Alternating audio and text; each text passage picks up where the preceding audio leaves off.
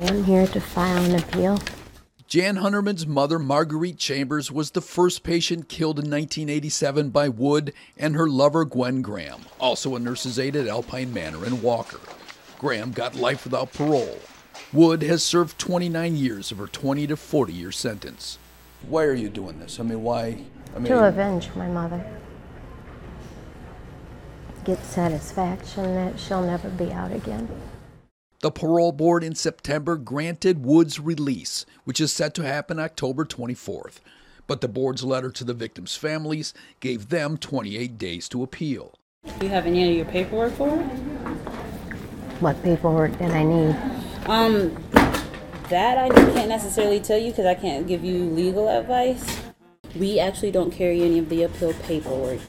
Any appeal of the parole board's decision to parole must be filed in the circuit court of the sentencing county. So I thought I had to come down here and file it. It doesn't say nothing about getting any other paperwork. The clerk suggested she get that paperwork in Lansing.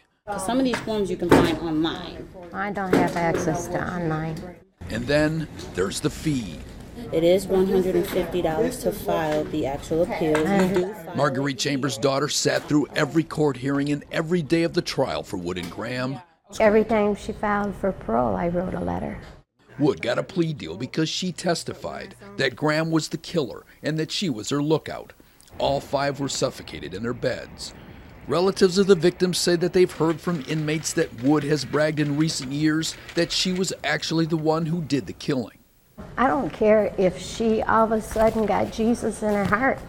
He's never going to forgive her for what she's done. You know, so now we got to fight again. What bothers me is typically, The granddaughters of victim Belle Burkhard say they will join that fight.